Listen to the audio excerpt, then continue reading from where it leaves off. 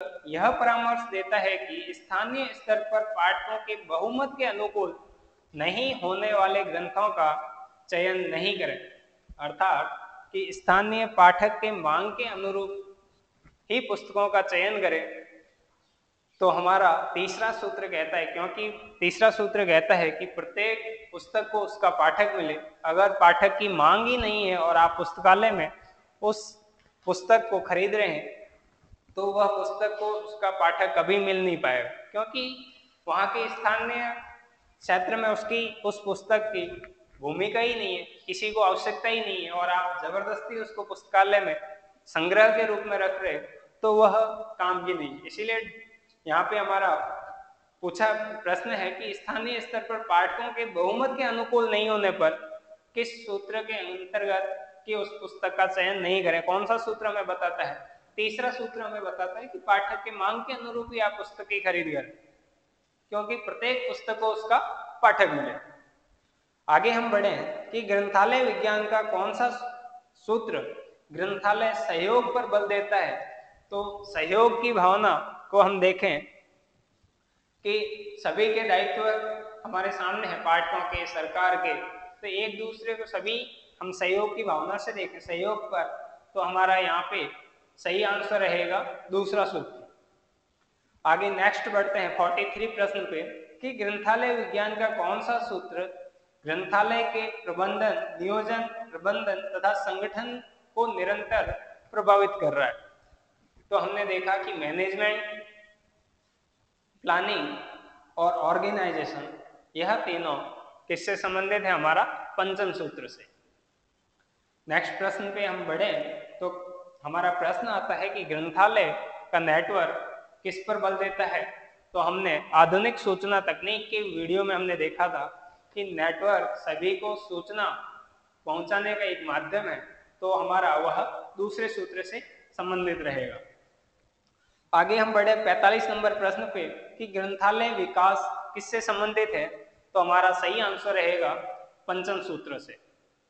Next प्रश्न आता है हमारा सूचना साक्षरता।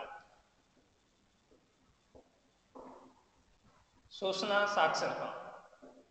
अर्थात इंफॉर्मेशन लिटरेसी पूछा है यहाँ पे हमारा प्रश्न कि प्रणेता का नाम बताओ। तो हमारा सही आंसर रहेगा पॉल जी ज़ीरो को की ने उन्नीस सौ चौहत्तर में यह शब्द दिया और इसके प्रणेता थे ज्यूरो को वारिस, वार्सकी।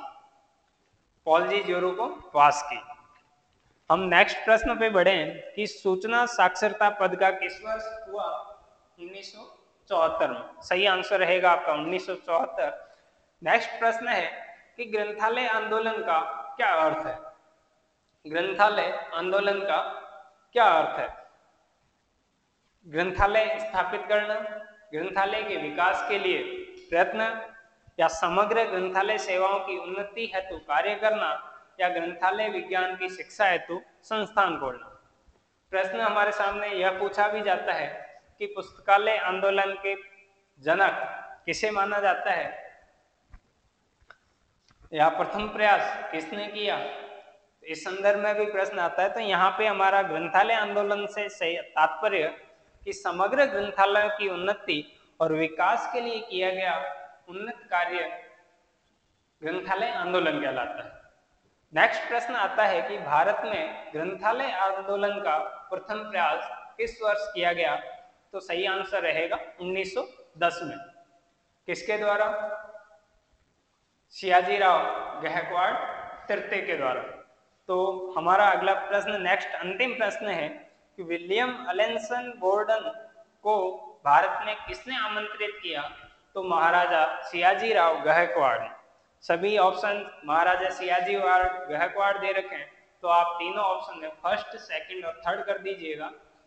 और सही आंसर रहेगा महाराजा शिवाजी राव गहकवाड़ तृतीय।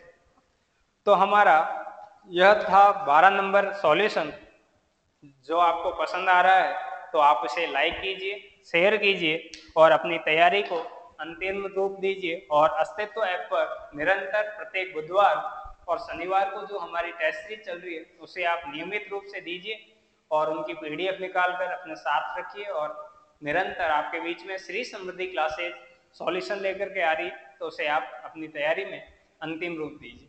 नेक्स्ट मिलते हैं अगले वीडियो जय हिंद।